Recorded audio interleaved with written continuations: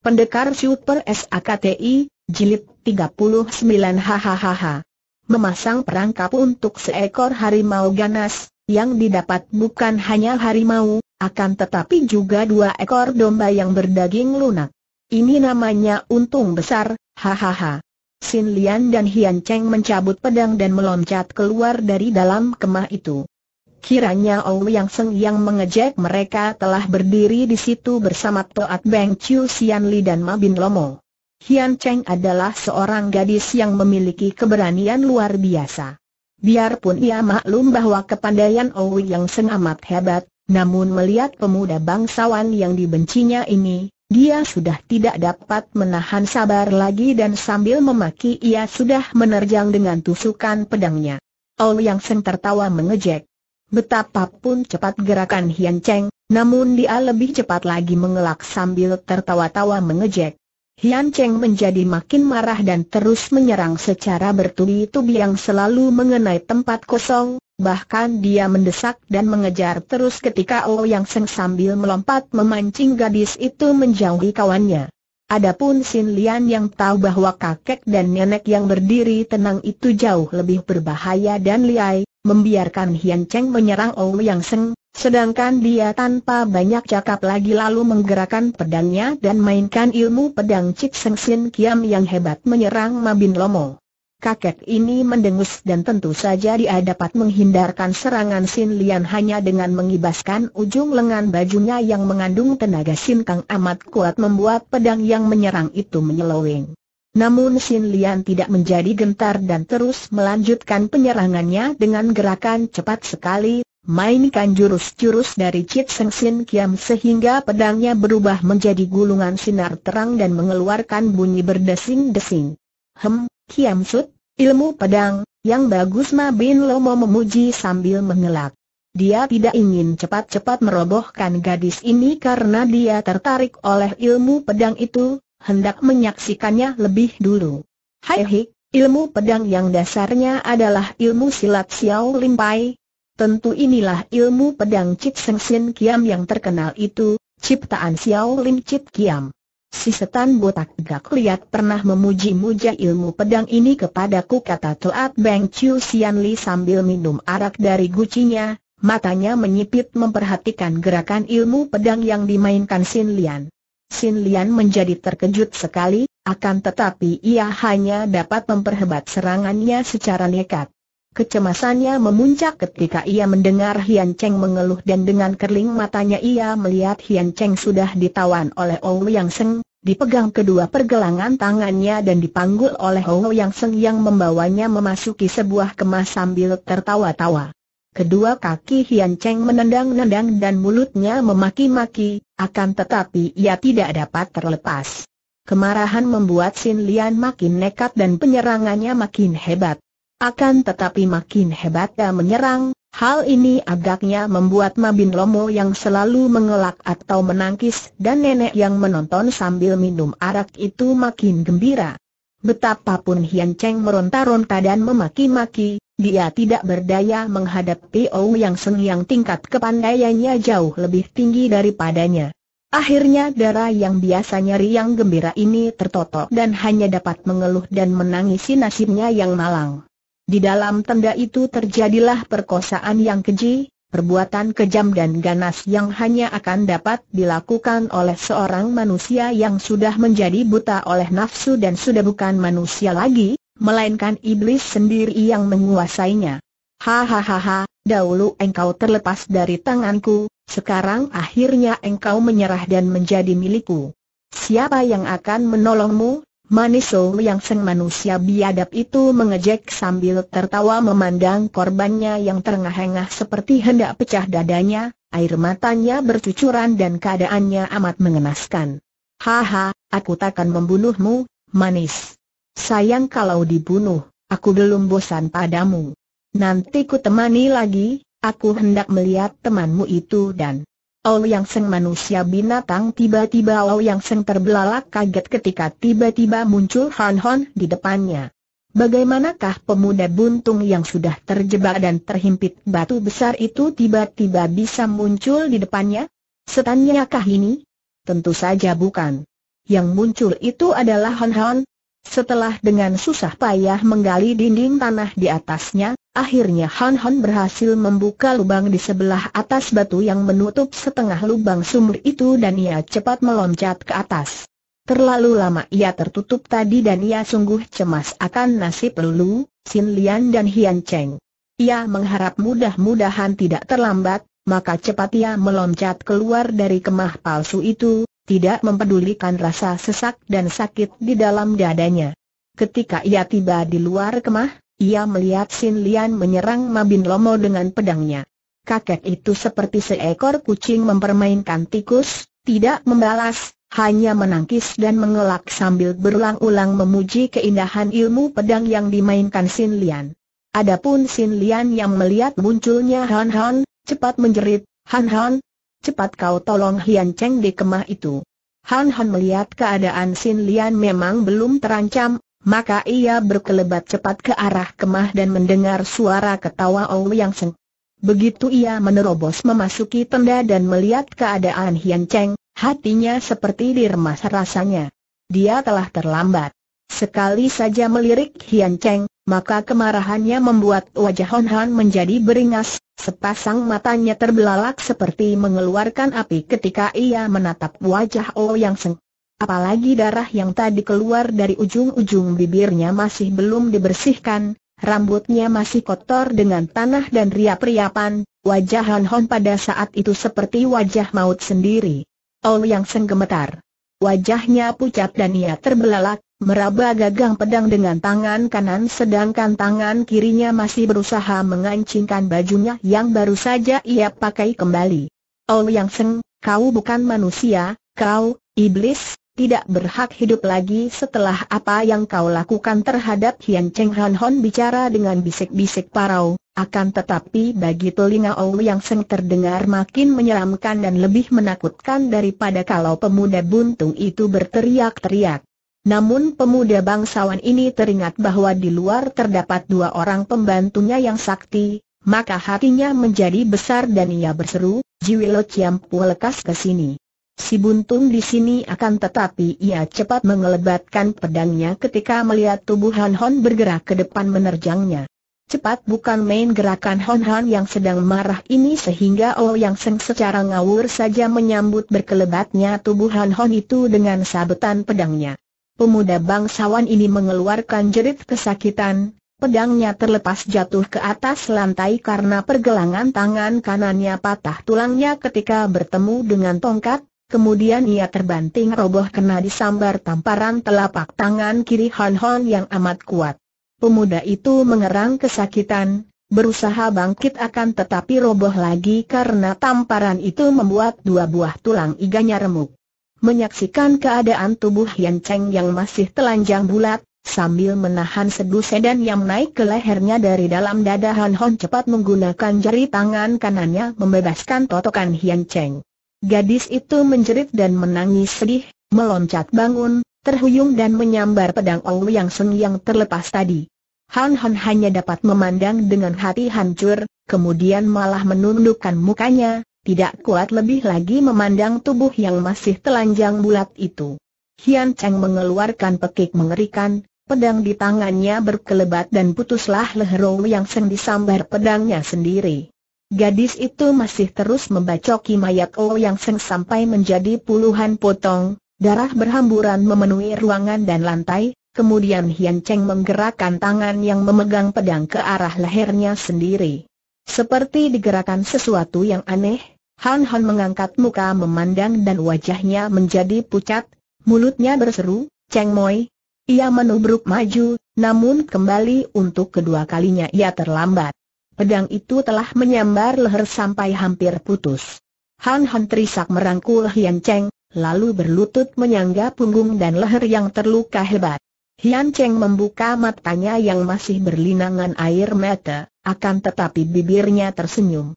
Han Han merasa seperti jantungnya ditarik-tarik. Sakit sekali rasanya menyaksikan betapa sinar mata gadis itu sama benar dengan sinar mata mendiang Soan Li ketika berangkat mati dalam pelukannya. Cheng Moi, Cheng Moi Han Hon berbisik dan mendekap tubuh itu, tidak peduli betapa darah gadis itu yang mengucur keluar dari leher membasahi seluruh bajunya. Air matanya sendiri menetes-netes ke muka Hian Cheng yang kini memperlebar senyumnya dan makin memucat wajahnya. Beberapa detik kemudian Hian Cheng tewas dalam pelukan Hon Hon dengan mulut masih setengah terbuka, tersenyum. Kekejangan terakhir yang disusul kelemasan tubuh yang dipeluknya membuat Han Han merintih, lalu perlahan-lahan ia merebahkan tubuh Yan Cheng ke atas lantai, menarik selimut yang berada di atas pembaringan, menutup jenazah itu dengan selimut, kemudian ia terisak dan meloncat keluar karena teringat akan keselamatan Sin Lian yang menghadapi lawan tangguh. Sin Lian Lengking ini hebat sekali keluar dari mulut Han Han ketika tubuhnya mencelat jauh ke depan, ke arah pertandingan itu. Lengking yang keluar mengandung kemarahan memuncak, kecemasan mendalam dan kedukaan yang mengguncang seluruh perasaan hati Han Han. Dapat dibayangkan betapa marah dan kaget hatinya ketika ia melihat Mabin Lomo berhasil melibat ujung pedang Sin Lian dengan ujung lengan bajunya, dan dengan pengerahan Suat Im Sin Chiang yang amat kuat, iblis muka kuda ini dengan tiba-tiba membalikan pedang itu dengan kuatnya sehingga pedang di tangan Sin Lian itu membalik dan menusuk dada darah itu sampai tembus. Sin Lian terhuyung-huyung dan matanya terbelalak memandang gagang pedangnya sendiri di depan dada. Han Han yang mencelat dengan kecepatan seperti sinar menyambar itu telah menukik ke arah Mabin Lomo dan menggerakkan tongkatnya menusuk dada kakek itu, sedang tangannya ia pukulkan ke arah kepala Toat Beng Chiu Sian Li. Prak! Des! Tongkat di tangan Han Han patah-patah bertemu dengan golok melengkung di tangan Mabin Lomo, tangan kanannya terbentur dengan lengan Toat Beng Chiu Sian Li yang menangkis pukulannya tadi kakek dan nenek itu mengeluarkan seruan kaget dan muka mereka menjadi pucat ketika tubuh mereka terlempar ke belakang dan terbanting ke tanah, akan tetapi mereka bergulingan dan sudah meloncat bangun kembali. Han Han yang sudah terluka sebelah dalamnya ketika ia menghabiskan tenaga mengangkat batu, kini menggunakan serangan dahsyat yang bertemu dengan Sin Kang kedua lawannya yang kuat pula, maka tongkatnya patah-patah dan biarpun ia tidak terlempar, namun ujung mulutnya kembali mengucurkan darah segar. Han Han tidak mempedulikan dirinya sendiri dan berloncatan ke dekat Sin Lian. Gadis itu masih berdiri, tubuhnya bergoyang-goyang dan kini ia mengeluh. Han Han, oh, Han Han, Gadis itu juga mengucurkan darah dari mulutnya dan tubuhnya tentu roboh kalau Han Han tidak cepat menyambarnya, memeluk dan memondongnya lalu dibawa berloncatan ke bawah pohon. Dengan menyandarkan punggung di pohon dan memondong tubuh Sin Lian, Han Han menangis. Sin Lian, aduh Sin Lian, kau, kau ampunkan aku, Sin Lian. Aku, aku terlambat menyelamatkanmu. Akan tetapi Sin Lian tersenyum sehingga tampak aneh sekali. Dalam keadaan seperti itu, dengan wajah yang makin pucat sehingga darah yang mengalir ke pipinya kelihatan amat merah, pedangnya menancap di ulu hati, gadis ini masih dapat tersenyum. Perlahan-lahan lengan kiri Sin Lian yang tergantung itu diangkat dengan lemah, kemudian jari-jari tangan gadis itu mengusap air mata Hon Hon, mengusap darah di pinggir mulut, membelai rambut yang riap-riapan itu dan dibereskannya ke belakang, mulutnya berbisik-bisik. Han Han, Oh, Han Han, aku rela, aku senang mati, dalam pelukanmu. Han Han, kau, kau menangisi aku? Han Han merasa jantungnya seperti diremas-remas. Baru saja menghadapi kematian Hian Cheng yang masih melukai hatinya, kini ia memeluk tubuh Sin Lian yang sedang menghadapi kematian pula. Kepalanya menjadi pening, air matanya menetes-netes dan melihat betapa sepasang metu itu memandangnya penuh harap, naik sedusa dan di kerongkongannya dan tak kuasa ia mengeluarkan suara, maka ia hanya mengangguk-angguk dan terisak membenamkan mukanya di leher yang berkulit putih halus itu. Ia merasa betapa leher itu berdenyut-denyut dan merasa betapa jari-jari tangan halus itu membelai rambutnya, dengan mesra mendorong mukanya sehingga terpaksa ia mengangkat muka memandang wajah yang makin melayu. Han, Han, aku, cinta padamu, aku rela mati, kau tolong Hian Cheng, dia, gadis baik yang mencintamu pula, selamat tinggal, kepala Sin Lian terkulai ke belakang. Sin Lian, aduh, Sin Lian. Han Han tidak kuasa menahan kesedihannya yang datang bertumpuk-tumpuk, pukulan batin yang datang bertubi-tubi dan ia menangis, mengguguk, dan kalau tidak bersandar pada batang pohon, tentu ia sudah roboh karena seluruh tubuhnya menggigil. Melihat keadaan pemuda yang menangis dan agaknya tidak ingat apa-apa lagi itu, Ma Bin Lomo dan Toat Beng Chiu Sian Li melihat kesempatan baik. Mereka memang merasa jari menghadapi pemuda buntung yang amat sakti itu, akan tetapi kini mereka melihat kesempatan untuk menerjangnya. Akan tetapi tiba-tiba Toat Beng Chiu Sian Li berbisik pelan, celaka, Bocah pengacau itu datang telunjuknya menuding dan Mabin Lomo yang memegang golok menoleh. Kak Hon Hon, Lulu datang berlari seperti terbang cepatnya. Dari jauh ia sudah melihat keadaan Hon Hon yang memondong mayat seorang gadis yang belum ia kenal siapa. Han tuaku.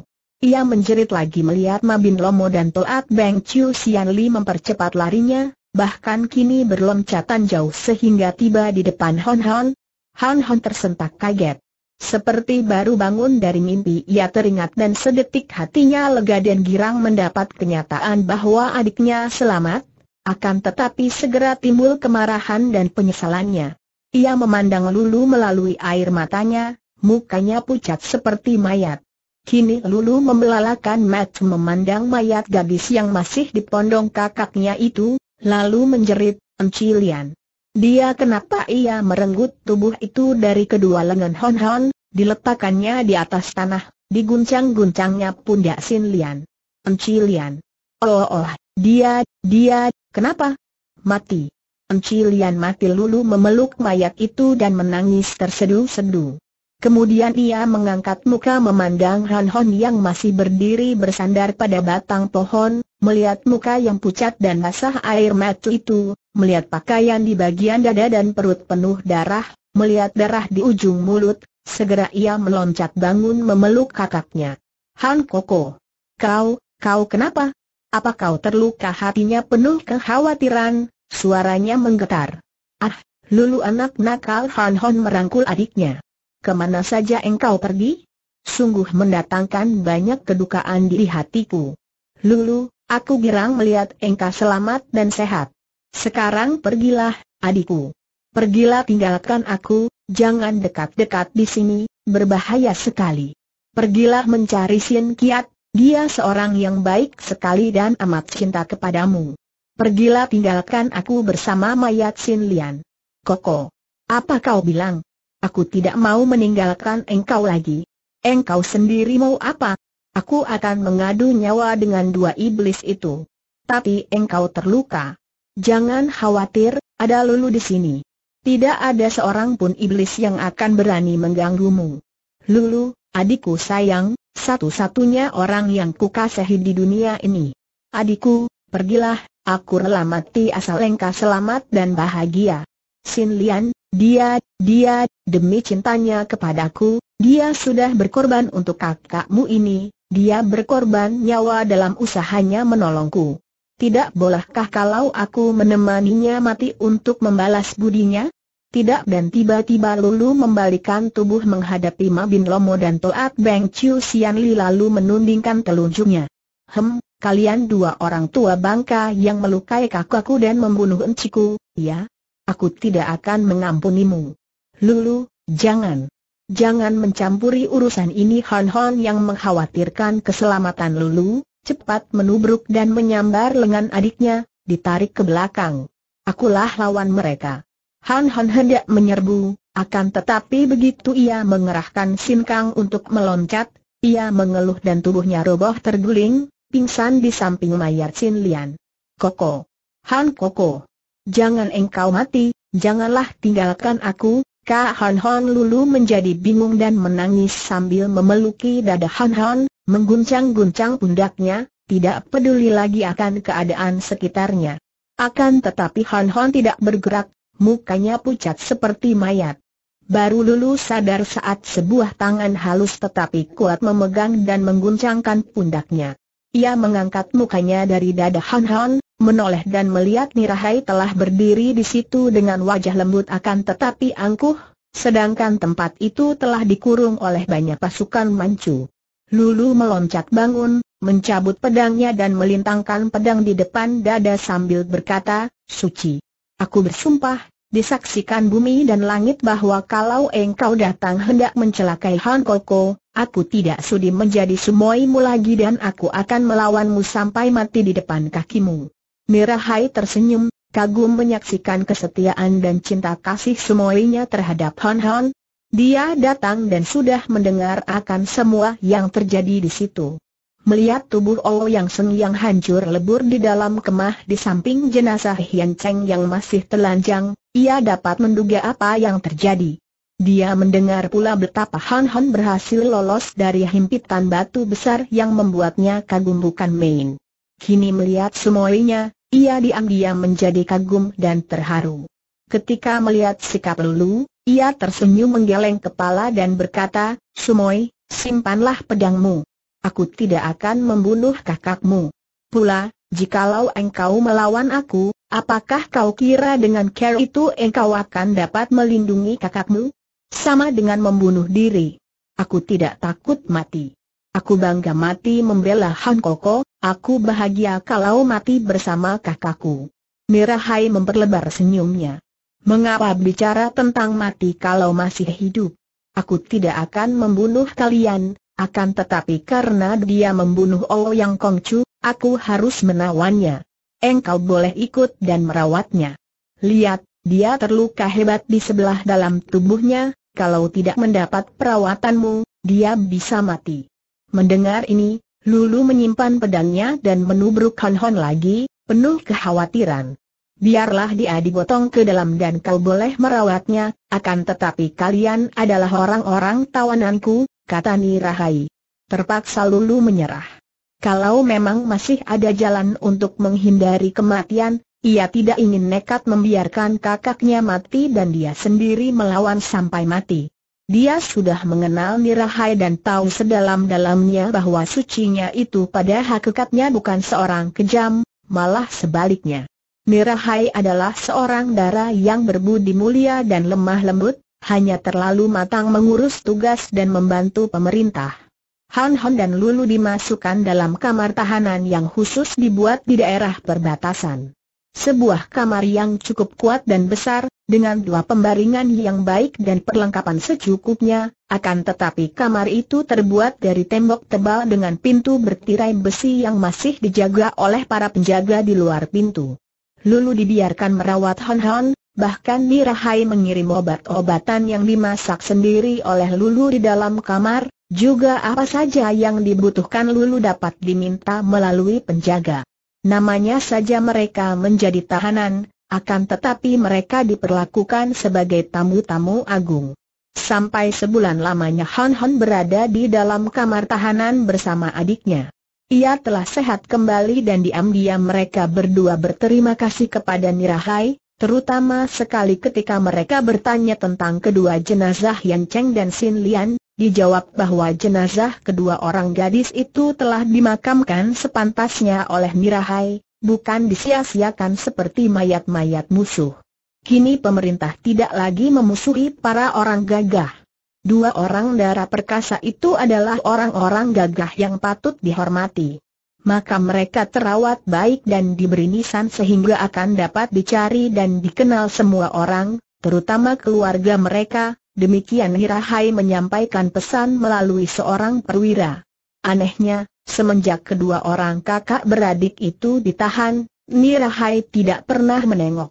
Lulu, kini aku sudah sehat kembali. Kita telah mendengar semua pengalaman masing-masing dan menurut pendapatku, kita berdua telah salah jalan yang biang keladinya ditimbulkan oleh perpisahan kita. Kalau kita dahulu tidak berpisah, tak mungkin engkau sampai terlibat dalam urusan perang, demikian pula aku. Semenjak kecil kita sudah sadar bahwa permusuhan tak boleh dibesar-besarkan. Engkau keturunan Manchu, dan aku seorang pribumi, namun kita telah menjadi kakak beradik. Engkau kehilangan orang tua yang dibunuh para pejuang, aku kehilangan orang tua yang dibunuh perwira-perwira Manchu, namun kau tidak mendendam kepada bangsaku dan aku tidak mendendam kepada bangsamu. Mengapa kita sampai terlibat sehingga kita menjadi bentrok sendiri? Ah, adikku sayang, aku telah bersikap terlalu kepadamu, maukah engkau memaafkan aku, Lulu? Lulu menangis lalu berlutut di depan Hon Hon yang duduk di atas pemberingannya, menangisi kaki yang buntung. Ahaha, Han Koko, jangan kau bicara begitu. Akulah yang mohon ampun kepadamu, Koko. Aku adikmu yang nakal, yang selalu tidak menurut kata-katamu, menimbulkan banyak kesengsaraan padamu. Kakimu, ah, kakimu sampai buntung sebelah. Koko. Aku akan rela kalau boleh mengganti kakimu yang buntung lulu memeluki kaki buntung yang tinggal paha saja itu, dan menangis terisak-isak. Tiba-tiba Han Hon tertawa. Hahaha, bocah lucu. Ia mengangkat tubuh Lulu sehingga gadis itu bangkit berdiri di depan Hon Hon yang masih duduk dan memeluk pinggang adiknya dengan kedua lengan, sedangkan kedua lengan Lulu merangkul pundak kakaknya. Lulu juga tertawa, apalagi ketika Hon Hon berkata, bocah lucu. Aneh sekali. Andai kata engkau bisa memberikan kakimu dan dapat dipasang di tubuhku, tentu kaki darimu lebih pendek, kakiku pendek sebelah, malah buruk sekali, kalau jalan terpincang-pincang, hahaha. Keduanya tertawa akan tetapi Lulu melihat betapa kakaknya itu biarpun mulutnya tertawa, matanya menitikan air mata. Tahulah ia bahwa kakaknya itu terharu dan hanya memaksa diri tertawa untuk menghiburnya, maka ia merangkul leher dan menangis juga. Keduanya lalu bertangisan. Han Koko, dadamu berdebar-debar sangat kencang tiba-tiba Lulu berkata sambil melepaskan rangkulannya. Han Han terpaksa tersenyum. Adiknya ini tetap nakal seperti dulu, jujur polos belak-belakan tanpa tedeng aling-aling kalau bicara. Tanpa disadari, ucapan Lulu menikam ulu hatinya dan membuatnya sadar. Ketika berpelukan tadi, rasa haru yang aneh, Rasa bahagia yang luar biasa seolah-olah ia memeluk surga dan membuat jantungnya berdebar keras. Wajahnya menjadi merah sekali dan cepat ia berkata, Lulu adikku yang terkasih, kau tahu betapa kasih sayangku kepadamu. Kebahagiaanku bersembunyi di balik kebahagiaanmu, adikku. Aku baru akan merasa lega dan senang kalau engkau sudah ada yang melindungi, ada yang mencintamu sampai selama hidupmu. Karena itu, engkau harus mentaati kehendakku, Lulu. Engkau akan kubawa pergi mencari Sin Kiat, karena aku hendak menjodohkan engkau dengan dia. Sin Kiat adalah seorang pemuda yang baik, tampan, gagah perkasa, dan dia amat mencintamu. Lulu mengerutkan keningnya dan tidak menjawab sampai lama. Kemudian ia menarik napas panjang, mengangkat muka yang tadi ditundukkan, memandang wajah kakaknya dan berkata, aku sudah tahu bahwa dia mencintaku Koko, dan aku tahu pula bahwa dia seorang yang amat baik dan gagah perkasa. Ha! Kalau begitu kiranya diam-diam engkau telah jatuh cinta kepadanya, bukan? Akan tetapi Lulu tidak tertawa atau tersenyum malu, malah masih cemberut dan alisnya berkerut.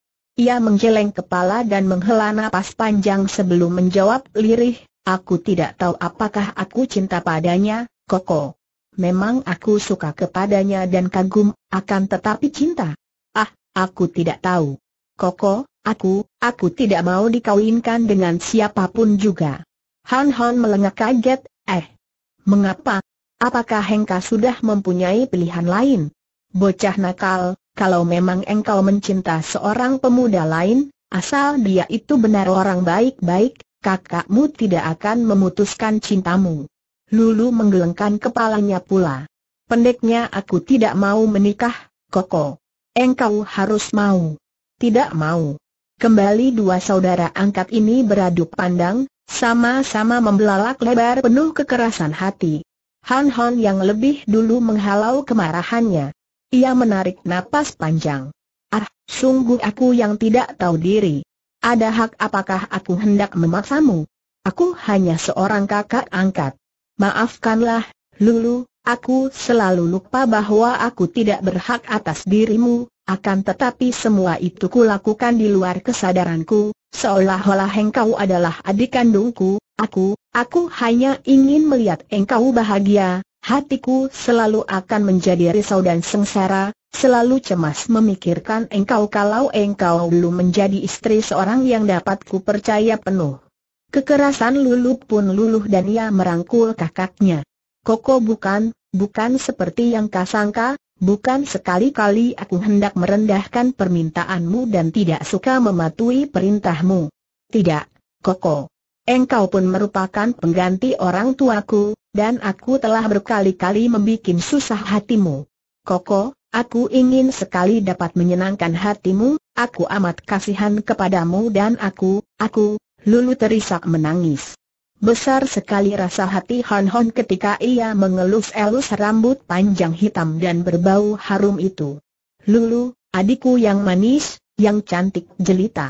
Tiba-tiba Lulu melepaskan rangkulannya, menatap tajam dan bertanya, Han Koko, benarkah engkau menganggap aku manis dan cantik jelita? Han Hon tersenyum, memandang wajah adiknya itu. Setelah lama tidak berkumpul, Kini melihat wajah itu begitu dekatnya, makin nyatalah kecantikan adiknya, kecantikan Nirahai, dengan bentuk-bentuk yang sama, terutama sekali sepasang matanya. Engkau cantik manis, adikku. Terutama sekali sepasang matamu, seperti sepasang bintang bercahaya di angkasa, seperti sepasang mata seekor burung hong, dan, dan, juga mulutmu, ia terhenti, merasa terlanjur dalam pujiannya. Ah ah ah, lanjutkan, Koko, bagaimana dengan mulutku? Lulu bertanya, cemberut dan timbul kembali sifat manjanya seperti ketika ia berada di pulau es dahulu.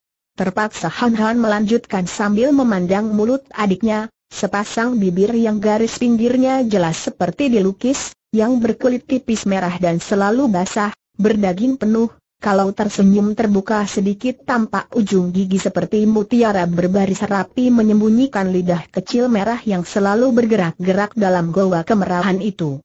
Mulutmu, hem, seperti telaga madu, menjadi sumber kemanisan yang tiada habisnya. Metu yang lebar itu berseri-seri dan Lulu kembali merangkul lalu mencium pipi kakaknya seperti dulu sering kali dilakukannya ketika mereka berdua masih tinggal di Pulau Es. Terima kasih, Koko, terima kasih. Engkau semulia-mulianya manusia bagiku, engkau satu-satunya manusia yang paling kucinta di dunia ini. Han Han kembali menggunakan kemauannya untuk menekan debaran aneh pada jantungnya, lalu ia memegang kedua pundak Lulu, didorongkan dan dipandangnya wajah adiknya. Lulu adikku, aku hanya mempunyai satu tujuan, yaitu melihat engkau bahagia. Karena itu, engkau hendak kuajak mencari Sin Kiat. Kenapa engkau menolak? Koko, kalau aku dijodohkan dengan orang lain, apakah aku harus ikut dengan suamiku? Tentu saja. Dan engkau akan meninggalkan aku?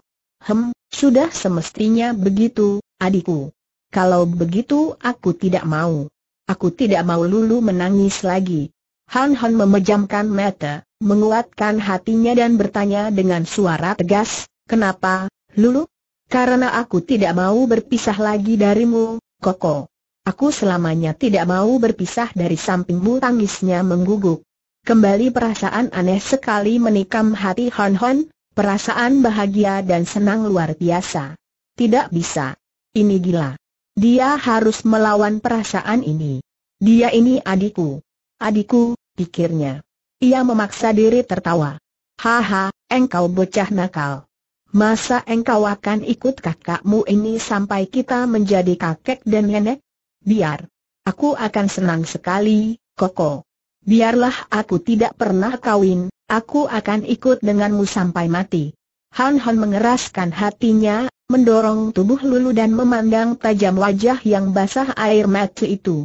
Lulu, tidak boleh. Apakah engkau akan membuat hati kakakmu ini sengsara selamanya? Engkau adikku, dan seorang adik yang baik akan mentaati kakaknya. Adikku Lulu, tidak maukah engkau menyenangkan hati kakakmu dengan mentaati permintaanku? Engkau akan hidup bahagia bersama Sin Kiat, aku yakin akan hal ini. Dia seorang yang amat baik. Lulu, sekali lagi ku minta, penuhilah permintaanku ini. sampai lama mereka saling pandang, dan akhirnya, dengan suara berat Lulu berkata lirih, Han Koko, kalau hal itu berarti kebahagiaanmu, aku, baiklah, aku menurut, dia lalu membenamkan muka di dada Han Hon sambil menangis. Han Hon mendiamkan saja, membiarkan adiknya menangis. Setelah tangis adiknya mereda, ia lalu berkata, marilah kita menemui Mirahai. Kita minta dibebaskan, kalau dia berkemauan baik, tentu permintaan kita akan dia penuhi. Kalau tidak, terpaksa aku akan menggunakan kekerasan. Tanpa menanti jawaban adiknya, Han Han menggandeng tangan Lulu, diajak meloncat ke pintu yang tertutup dengan terali besi. Dia sudah mempunyai sebatang tongkat kayu yang diberikan oleh penjaga atas permintaan Lulu. Koko, pintunya kuat sekali dan di luar ada penjaga-penjaga. SSSTTTT, kau ikutlah saja, kata Han Han yang menggunakan tongkatnya mengetuk-ngetuk pintu dan ketika para penjaga yang enam orang jumlahnya itu menengok, ia berkata, harap kalian suka membuka pintu ini, kami hendak menghadap Putri Nirahai. Ah, kami tidak berani. Kami diharuskan menjaga di sini dan tidak membolehkan kalian berdua keluar dari pintu komandan jaga membantah sedangkan enam orang itu sudah meraba gagang senjata golok mereka untuk menjaga segala kemungkinan. Han Han tersenyum. Kalau begitu, aku akan keluar sendiri katanya dan sekali tangan kanannya bergerak, terdengar suara keras dan pintu kamar itu jebol berikut jeruji-jeruji besinya, terlepas dari tembok. Enam orang penjaga itu menerjang maju, akan tetapi Han Hon mengelebatkan tongkatnya dan robohlah mereka dalam keadaan lemas tertotok. Sambil menggandeng tangan adiknya, tenang-tenang saja Han Hon meninggalkan tempat itu, keluar dari rumah tahanan untuk mencari Nirahai. Para penjaga yang berada di luar menjadi kaget sekali dan mengurung.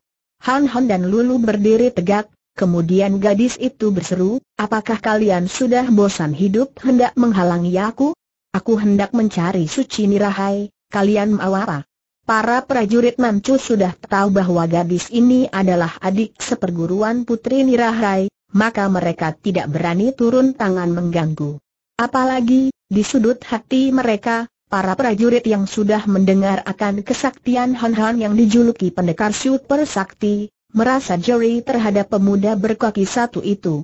Kini mereka hanya dapat memandang, kemudian mengikuti dari belakang ketika Han Han dan Lulu berjalan menuju ke sebuah kemah besar yang berwarna merah, kemah yang ditinggali Putri Nirahai.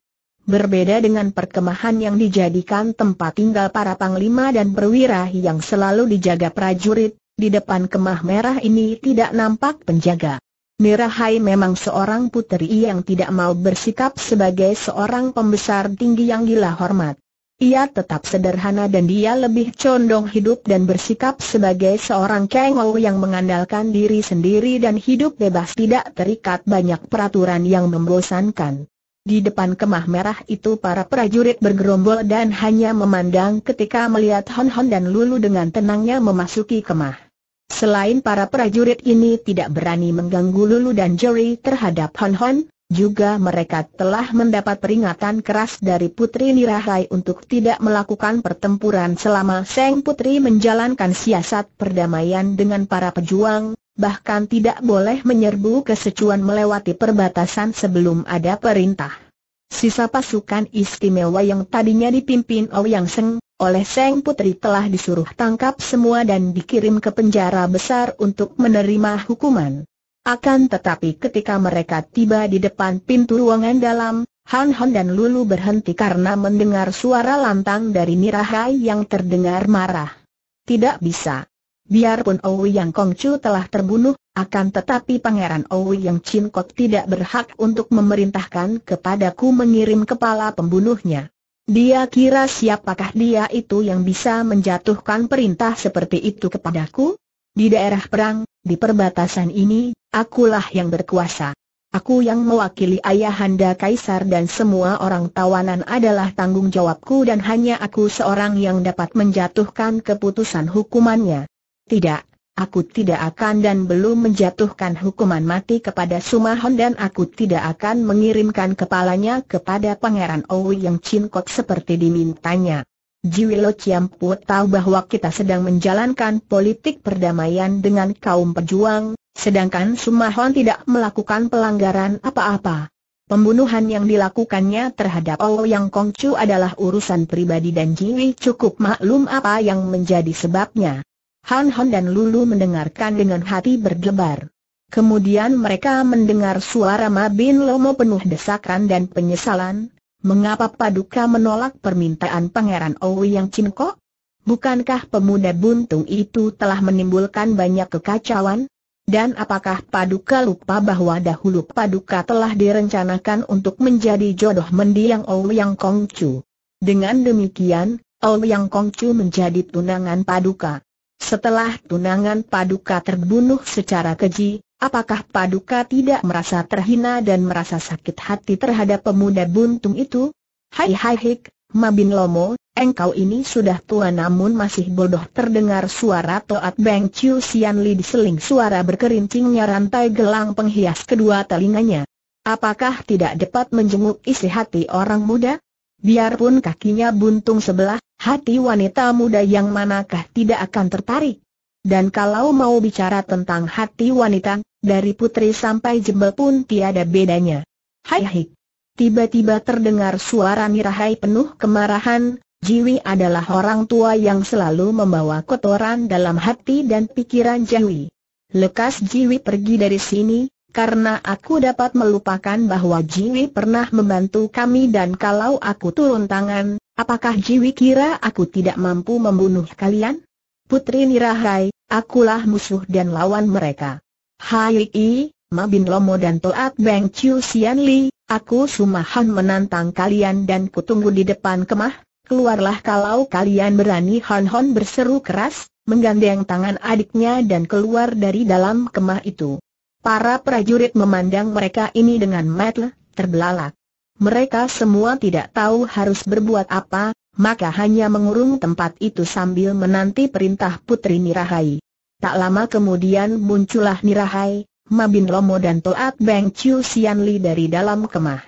Melihat para prajurit, Nirahai lalu melambaikan tangan dan berkata, suaranya berwibawa, semua prajurit mundur, boleh menonton dalam lingkaran yang lebar, paling dekat 10 meter.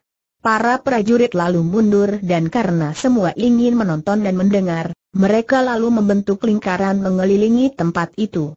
Bahkan para prajurit lainnya yang mendengar lalu berdatangan sehingga tempat itu penuh oleh lingkaran prajurit-prajurit mancu. Siapa yang mengeluarkan kalian Putri Nirahai bertanya dengan kering sambil memandang Lulu. Suci, akulah yang memaksa keluar, kata Lulu. Bukan. Akulah yang menjebol pintu karena para perjaga tidak mau membukanya. Kami hendak bicara denganmu, Putri Nirahai. Akan tetapi mendengar suara dua orang tua bangka jahat ini, biarlah kutunda dulu pembicaraan kita dan sekarang aku menantang Mabin Lomo dan Toat Beng Chiu Sianli untuk bertanding denganku. Hem, di puncak Tai Hang San sudah kuputuskan bahwa kini kami mengadakan perdamaian dengan orang-orang Kang Ou, Apakah engkau menjadi wakil pemberontak Bu Sam KWI dan menantang pembantu-pembantu pemerintah Nirahai bertanya? Han Hon menjawab tegas. Sama sekali bukan. Aku dan adikku Lulu sekarang tidak sudi mencampuri perang. Aku menantang Mabin Lomo karena urusan pribadi, karena ingin membalaskan dendam puluhan orang anak murid Inkoksan yang orang tuanya telah dibunuh semua oleh iblis muka kuda ini dan untuk membalaskan dendam terhadap kematian Lau Sin Lian. Aku pun menantang Toat Beng Chiu Sian Li, karena berkali-kali dia hendak membunuhku, bahkan yang terakhir aku tentu telah mati dibunuhnya kalau tidak muncul Kim Ksu sehingga hanya sebelah kakiku yang buntung. Aku tantang mereka berdua sebagai musuh pribadi. Di dalam lubuk hatinya, semenjak dua orang iblis tua itu muncul sebagai utusan Pangeran Owi yang Chin Kok untuk minta kepala Han Hon sebagai hukuman atas kematian Owi yang Seng, Nirahai sudah mengambil keputusan untuk mengenyahkan dua orang itu. Dan ketika Han Hon datang bersama Lulu, dia pun sudah tahu maka dia sengaja bicara keras. Tantangan Han Hon terhadap dua orang itu amat mengirangkan hatinya, maka putri cerdik ini tidak mengusir para prajurit, bahkan memperkenankan mereka menonton agar mereka mendengar dan menjadi saksi atas pertandingan yang memang ia harapkan ini. Ia tahu bahwa Han Han telah sembuh dan bahwa pemuda itu amat sakti, tentu sanggup menandingi mereka berdua. Maka kini dengan aksi mengangkat pundak ia berkata, pemerintah tidak akan mencampuri urusan dendam pribadi, bahkan selalu akan menjadi saksi. Terserah tanggapan Mabin Lomo dan Toat Beng Chiu Sian Li atas terantangan Sumahon, kami tidak mencampurinya, hanya ingin melihat pertandingan yang adil dan sah. Dua orang datuk kaum sesat itu diam-diam merasa jeri terhadap Hon Hon, akan tetapi untuk menolak tantangan, tentu saja mereka merasa malu. Pula, mereka adalah dua orang tokoh besar, Masa harus melarikan diri terhadap tantangan seorang pemuda yang buntung sebelah kakinya? Biarpun kini tiada tokoh Kengou yang menyaksikan, bahkan kedua orang pendeta yang menjadi utusan Pangeran Kiu juga telah kembali ke Secuan, namun ada ratusan orang prajurit Manchu menjadi penonton. Akan tetapi, Toat Beng Chiu Sian Li masih berusaha untuk menghindarkan pertandingan dan berkata, Sumahon, engkau sekarang mengakui sebagai keturunan Suma. Jai Hwe Asian Suma Hoat adalah kakekmu. Lupakah engkau bahwa aku adalah istri kakek buyutmu Suma Kiat? Aku adalah nenek buyutmu sendiri. Hayo berlutut memberi hormat atas kekurang ajaranmu menantangku. Akan tetapi Hon Hon tertawa mengejek. Tidak ku sangkal bahwa aku menyesal sekali, adalah keturunan keluarga Suma yang jahat seperti keluarga iblis itu. Engkau adalah seorang di antara selir-selir Sumakiat yang tentu banyak jumlahnya, entah selir yang syah ataukah selir gelap-gelapan. Akan tetapi aku tidak akan mengakuimu, bahkan andai kata kakekku yang berjuluk JHW ASEAN itu masih hidup, kalau mengingat akan kejahatannya, dia akan kutantang pula. Toat Beng Chiu Sian Li, aku ulangi lagi tantanganku kepadamu, bukan sekali-kali sebagai nenek buyut, melainkan sebagai seorang datuk kaum sesat yang telah menumpuk dosa. Ataukah kau tidak berani melawan bekas muridmu sendiri yang telah kau buntungi kakinya? Dan engkau, Mabin Lomo, apakah engkau telah berubah menjadi pengecut, lebih pengecut daripada perbuatanmu membunuhi keluarga para murid Inkoksan? Kemarahan dua orang tokoh tua itu memuncak dan biarpun mereka maklum akan kesaktian Hon Hon, namun keduanya juga memiliki kepandaian yang sudah amat tinggi tingkatnya. Toat Beng Chiu Sian Li memekik dan begitu tangannya bergerak, tiga sinar terang menyambar ke arah dahi, dada dan pusar Hon Hon. Itulah senjata gelap gelang yang ia lolos dari rantai gelang di telinganya.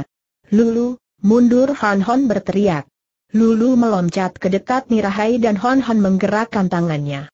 Dengan hawa pukulan Sin Kang yang kuat sekali ia membuat tiga buah gelang itu menyeleweng dan menghilang ke dalam tanah di depan kakinya. Wuut, tring-tring teranggit. Toat Beng Chiu Sian Li sudah menerjang maju dan sekaligus kedua anting-anting rantai gelang rambutnya yang panjang dan kedua tangannya sudah bergerak melakukan penyerangan secara berbareng. Singgap, ngiuk, Mabin Lomo juga sudah menerjang maju, golok melengkung di tangan kanan menjadi gulungan sinar, tangan kirinya memukul dengan pengerahan tenaga Suat Im Sin Chiang. Cuat-cuat. Tubuh Han Hon mencelat seperti kilat dan telah lolos dari kepungan serangan yang amat hebat itu. Tubuhnya bergerak-gerak dengan loncatan aneh sehingga pandang mata Mabin Lomo dan Ciu Sian Li menjadi kabur. Mereka harus membelalakan mata, bergerak cepat dan bersikap waspada. Hei, mengapa main keroyok? Ini tidak adil Mirahai berseru. Biarpun ia tidak khawatir melihat pengeroyokan atas diri Han Hon, namun sebagai saksi dan juri, dia harus mencela agar tidak dianggap berat sebelah. Terima kasih, Puteri. Biarlah mereka mengeroyok, Memang selama hidupnya orang-orang seperti mereka ini hanya mengandalkan kemenangan dengan kecurangan Han Hon mengejek. Kedua orang itu menjadi makin marah, akan tetapi tentu saja mereka menulikan telinga terhadap ejekan-ejekan ini karena maklum bahwa kalau maju seorang demi seorang, tentu mereka akan celaka. Tanpa menjawab mereka telah mengirim serangan secara bertubi-tubi. Han Han tetap mainkan ilmu silat Soan Hang Lui Kun yang amat hebat. Tubuhnya lenyap dan hanya tampak berkelebatnya bayangannya yang saking cepat gerakannya sampai seolah-olah berubah menjadi banyak itu. Dia hanya mengelak dengan loncatan-loncatan ke sana-sini sehingga tampaknya seperti dua orang anak-anak yang canggung mengejar dan berusaha untuk memukul seekor lalat yang amat cekatan. Mabin Lomo Siang Kuan Li adalah seorang ahli bermain golok melengkung, dan tenaganya Suat Im Sin yang amat kuatnya, bahkan lebih kuat daripada tenaga Sin Kang Setan Botak, lebih kuat pula dari tenaga Sin Kang Toat Beng Chiu Sian Li. Akan tetapi nenek itu jauh lebih berbahaya karena biarpun Sin Kangnya tidak sekuat Mabin Lomo, namun dalam hal ilmu silat, Toat Beng Chiu Sian Li Buci Goat lebih lihat dan banyak sekali macam ilmunya. Nenek ini puluhan tahun lamanya berkecimpung di dunia kaum sesat, mempelajari bermacam ilmu dan sebagai selir terkasih Sumakiat, dia menuruni pula ilmu-ilmu aneh dan mengerikan dari suaminya itu. Dia ahli mempergunakan rambutnya sebagai senjata. Biar rambutnya sudah banyak ubarnya, namun masih panjang dan rambut yang halus ini berbahaya sekali, dapat melibat senjata lawan, dapat menjerat leher, dan bahkan dapat pula menjadi keras menegang dan digunakan sebagai alat penotok jalan darah. Senjata rantai gelang yang tergantung di kedua telinganya juga merupakan senjata yang ampuh sekali, karena selain sukar diduga gerakannya karena digerakkan bukan dengan tangan melainkan dengan gerakan kepala, menjadi imbangan yang membingungkan bagi lawan dengan gerakan penyerangan rambut. Ditambah lagi dengan kuku-kuku jari tangannya yang beracun, Telapak tangannya yang mengandung hawa pukulan Toat Beng Tok Chiang, tangan beracun pencabut nyawa, yang biarpun tidak sekuat Suat Im Sin Chiang, namun mengandung hawa beracun yang jahat sekali. Han Han yang sudah beberapa kali bertanding melawan dua orang ini tahu bahwa dikeroyok dua orang ini sama dengan dikeroyok sedikitnya sepuluh orang. Yang paling berbahaya baginya adalah si nenek yang sambil menyerang menyembunyikan anting-antingnya, Suaranya berkerincingan mengacaukan perhatian, bahkan bagi para pendengar yang tidak memiliki sinkang kuat dapat menggetarkan jantungnya. Baiknya para prajurit menonton dari jarak jauh sehingga getaran suara itu hanya membuat mereka menutup telinga karena amat tidak enak didengar, seperti orang mendengar suara kaleng digurat-gurat. Maka, Kini setelah berloncatan ke sana-sini dan gerakan ilmu gerak kilat pada kaki tunggalnya sudah lancar, mulailah ia membalas dengan serangan tongkat yang ia mainkan dengan gerakan ilmu pedang Siang Mok Yam Sut, sedangkan tangan kirinya ia pukulkan dengan sinkang yang berubah-ubah, kadang-kadang ia menggunakan inti tenaga HWI yang Sin Chiang, kadang-kadang ia menghadapi pukulan Mabin Lomo dengan tenaga yang sama, yaitu Suat Im Sin Chiang, namun jauh lebih kuat. Kini mulailah Han Hon menggunakan ilmunya Soan Hang Lui Kun yang memungkinkan ia berloncatan cepat menjauhi Toat Beng Chiu Sian Li dan mendesak Mabin Lomo. Toat Beng Chiu Sian Li maklum bahwa Han Hon hendak merobohkan murid keponakannya dulu, maka ia berteriak-teriak dan mengejar terus. Namun gerakannya jauh kalah cepat oleh Hon Hon sehingga bagi para penonton yang tidak dapat mengikuti dengan pandangan mata biasa, seperti prajurit-prajurit Manchu itu, yang kelihatan hanya berkelebatan tubuh Han Hon dan Mabin Lomo yang sibuk menangkis dengan goloknya, dan melihat nenek itu berlari-lari memutari tubuh Mabin Lomo sambil berteriak-teriak memaki seperti orang gila. Mabin Lomo mempertahankan diri sekuatnya. Ketika melihat tongkat menyambar, ia mengerahkan tenaga mengayun goloknya menangkis, dan tangan kirinya sudah menghantam ke arah bayangan Hon Hon dengan Suat Im Sin Chiang. Saat inilah yang dinanti-nantikan oleh Hon Hon. Tongkatnya ia pukulkan dengan kuat, dan tangan kanannya menyambut pukulan itu dengan tenaga Im Kang pula yang jauh lebih kuat. Dua senjata bertemu di udara, tepat pada saat dua telapak tangan mereka bertemu. Krak, des. Golok patah menjadi tiga dan tubuh Mabin Lomo menggigil, kemudian ia terhuyung mundur, dari telinga, mata, hidung dan mulut juga dari lubang-lubang di bawah tubuh, mengucur darah dan akhirnya roboh dengan napas putus. Tubuhnya berubah membiru dan kaku seperti sebatang kayu karena tubuh itu sudah membeku. Bocah setan Toat Beng Chiu Sian Li memaki menutupi rasa gentarnya, semua senjatanya yang ampuh, rambut, sepasang rantai gelang dan kedua tangannya menyerang kalang kabut.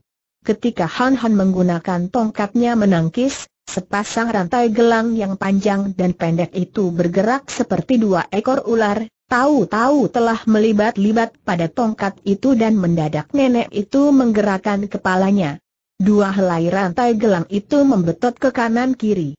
Han Han terkejut karena benar-benar amat kuat tarikan dua rantai gelang itu. Dia pun mengerahkan tenaga membetot. Krek-krek kraak. Aih nenek itu menjerit.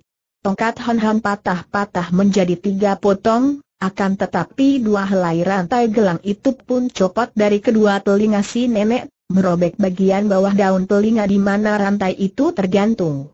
Nyerinya begitu hebat bagi seorang nenek yang demikian sakti, akan tetapi rasa kaget dan malu membuat ia menjadi marah dan nekat. Kepalanya bergerak dan rambutnya sudah membelit leher Han Han. Pemuda ini tak sempat mengelak, rambut itu seperti hidup, tahu-tahu telah membelit dan mencekik leher.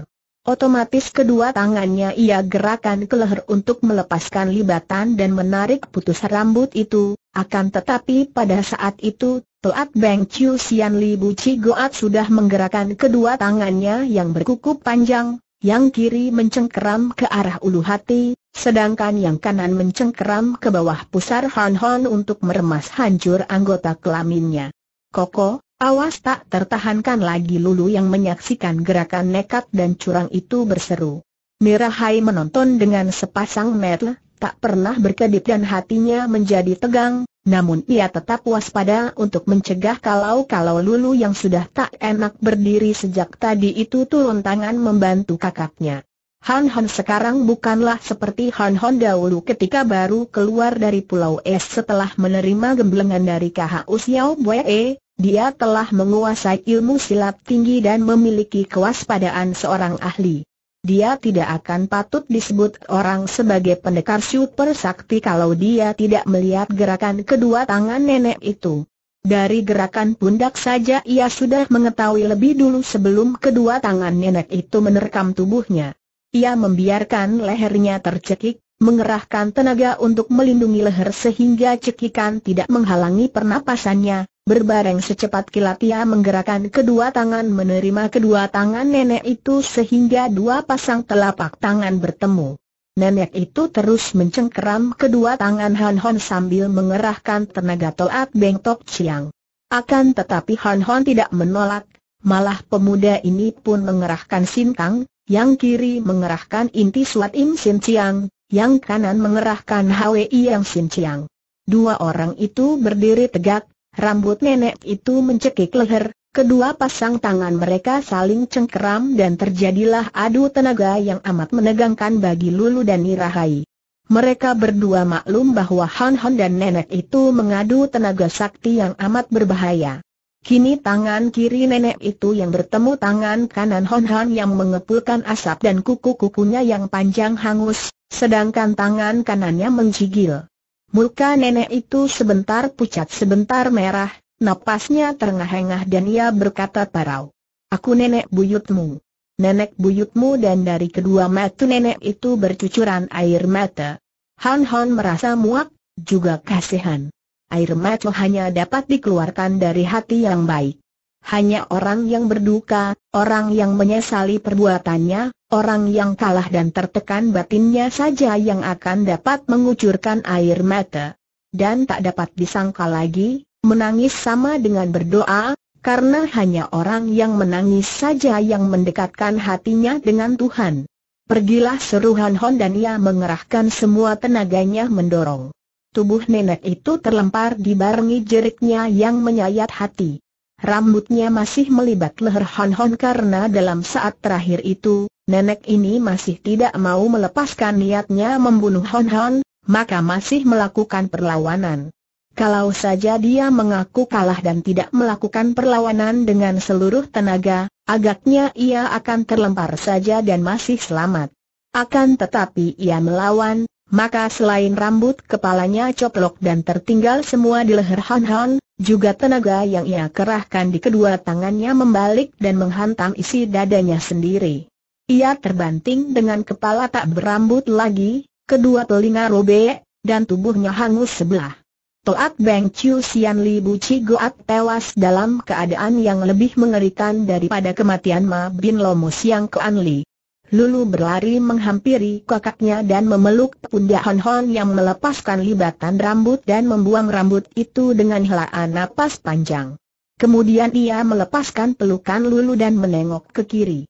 Juga Lulu mendengar suara ribut-ribut di antara para prajurit.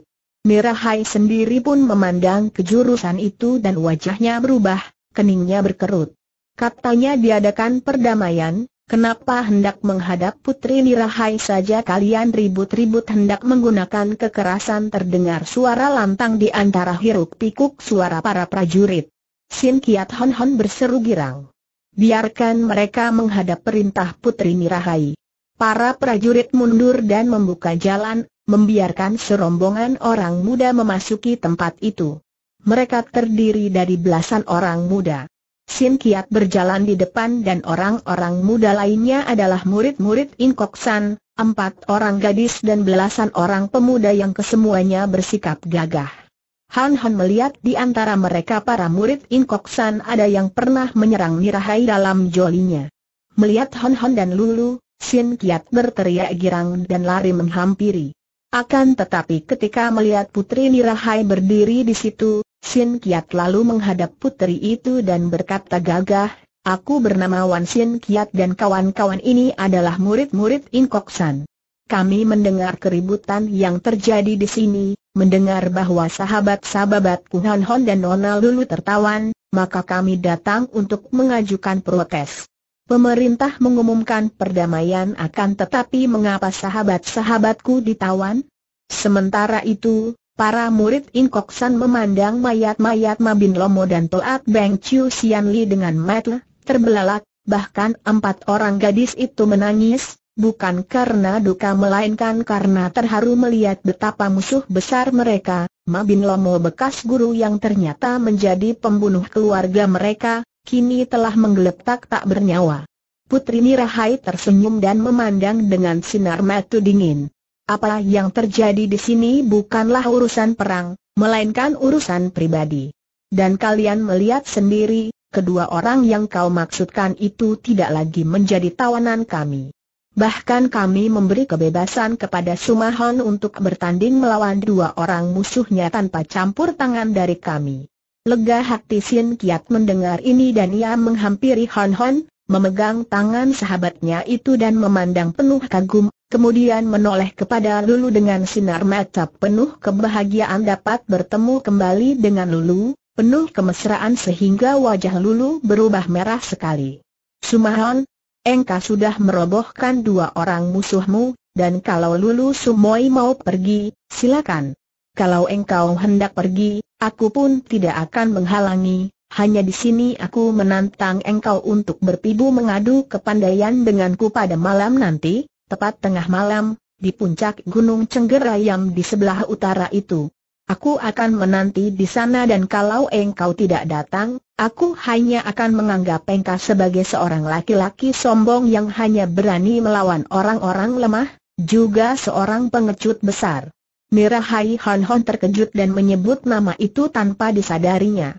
Akan tetapi, sambil mengebutkan lengan bajunya, Nirahai sudah membalikan tubuh dan pergi memasuki kemahnya.